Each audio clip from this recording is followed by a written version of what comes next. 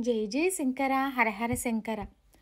జగద్గురు శ్రీ శ్రీ భారతీతీర్థ మహాస్వామివారు మహాస్వామి వారు అవి శ్రీ కరణామ సంవత్సర చైత్ర శుక్ల షష్ఠి గడియలు.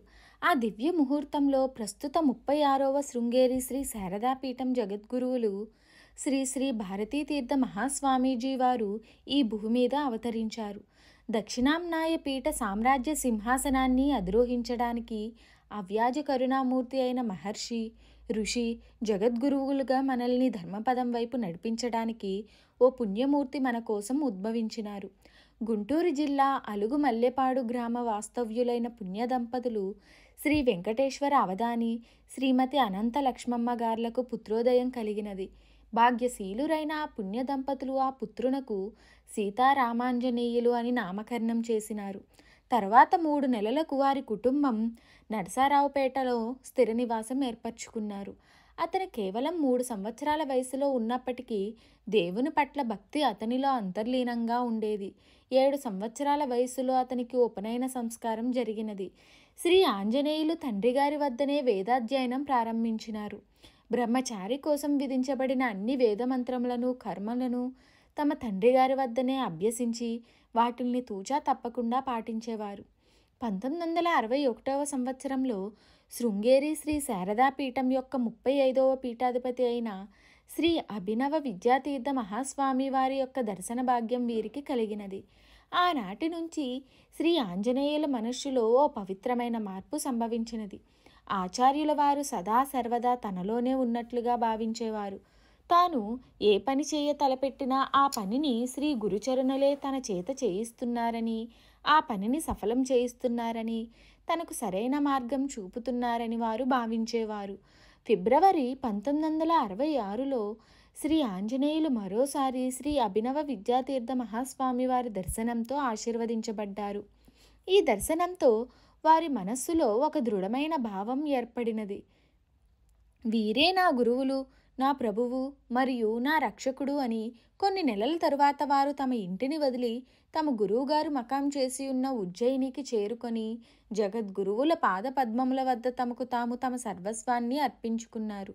శ్రీ ఆంజనేయులు తమ గురువుగారి యొక్క పాదపద్మములకు సేవ చేస్తూ అలా ఎనిమిది సంవత్సరములు గడిపినారు. ధర్మశాస్త్ర ఆధ్యాత్మిక విభాగాలలో సాధించిన అద్భుతమైన పురోగతి పట్ల శ్రీ గురుచరణులు ఎంతో సంతోషించినారు. పంతొమ్మిది వందల డెబ్బై నాలుగు సంవత్సరంలో శ్రీ శారదాదేవి ఆదేశాల మేరకు జగద్గురువులు శ్రీ శ్రీ అభినవ విద్యాతీర్థ మహాస్వామి వారు తమ శిష్యులైన శ్రీ ఆంజనేయులును సన్యాసాశ్రమంలోకి ప్రవేశపెట్టినారు. శ్రీ భారతీ తీర్థ అనే యోగ పట్టాను అనుగ్రహిస్తూ ముప్పై ఆరవ ఆచార్యులుగా తమ వారసునిగా ఉత్తరాధికారిగా చేశారు. పంతొమ్మిది వందల ఎనభై తొమ్మిది సెప్టెంబర్లో తమ గురువులు విదేహముక్తులు అయిన పిమ్మట అక్టోబరు పంతొమ్మిది వందల ఎనభై తొమ్మిదిలో ముప్పై ఆరవ పీఠాధిపతిగా జగద్గురు శ్రీ భారతీ తీర్థ మహాస్వామి వారు అధికారికంగా శృంగేరి శ్రీ శారదా పీఠంను అలంకరించినారు. శ్రీ ఆదిశంకరాచార్యుల సందేశాన్ని వ్యాప్తి చేయటానికి ప్రజలలో ధార్మిక శక్తిని ప్రజ్వలింపజేసి తద్వారా సమాజంలోని రుగ్మతలు అయిన చెడు కోపాన్ని మరియు దుర్మార్గాన్ని ఎదుర్కోవటానికి వాటిల్ని సమూలంగా నిర్మూలించడానికి కావలసిన సహాయము ప్రజలకు చేయడానికి జగద్గురువులు భారతదేశం నలువైపులా విస్తృతమైన పర్యటనలు చేపట్టినారు. వారి దివ్య దర్శనం కోసం ప్రజలు పెద్ద పెద్ద సంఖ్యలలో బారులు తీరి సమావేశమయ్యేవారు. సంస్కృతం కన్నడం తెలుగు తమిళం మరియు హిందీ భాషలలో అమోఘమైన విశిష్టమైన ప్రావీణ్యము నైపుణ్యంతో అనర్గళంగా భాషణ చేసేవారు. వారి అనుగ్రహ భాషణలు ప్రజలను భక్తులను ఎంతో ఉత్తేజపరిచేవి. అమృత తుల్యమైన వారి వాక్కులు నాస్తికులను కూడా ఆస్తికులుగా గొప్ప భక్తులుగా మార్చేవి. శాస్త్రం నిర్దేశించిన విధులను కర్మలను విస్మరించిన చాలామంది వీరి ఉపన్యాసములు విన్న తర్వాత తిరిగి ప్రారంభించినారు.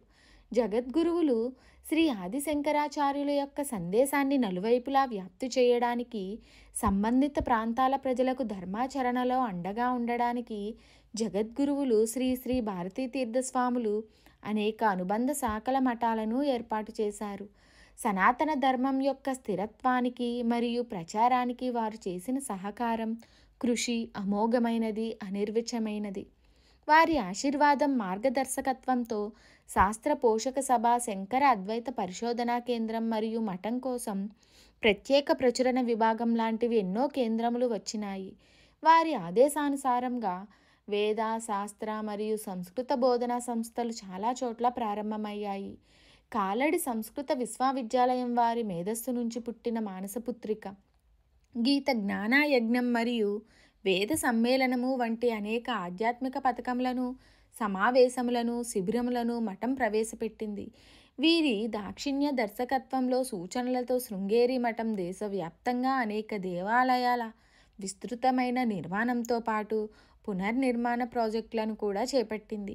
పీఠం యొక్క ఆర్థిక సహాయ సహకారములతో అనేక విద్యా పరిశోధనా సంస్థలు అధ్యయన కేంద్రములు మరియు ఆరోగ్య సంరక్షణ విభాగములు నడుస్తున్నాయి. వారు జీవితంలో రాజీ పడకుండా వేద శాస్త్ర నియమములకు కట్టుబడిన వారి ధర్మాచరణ ఆత్మనిష్ట ఆప్యాత వాత్సల్యం దృక్పథం మనందరి జీవితాలను పవిత్రం చేయడానికి మరియు మానవుడిగా మనం పుట్టిన లక్ష్యాన్ని సాకారం సార్థకం చేసుకోవడానికి మనల్ని జాగృతం చేయడానికి దివి నుండి భువికేగిన ఒక స్ఫూర్తిదాయకమైన బ్రహ్మర్షి ఓ మహాత్ముడు ఓ జగద్గురువు. సర్వం శ్రీ గురుచరణార విందార్పణమస్తు.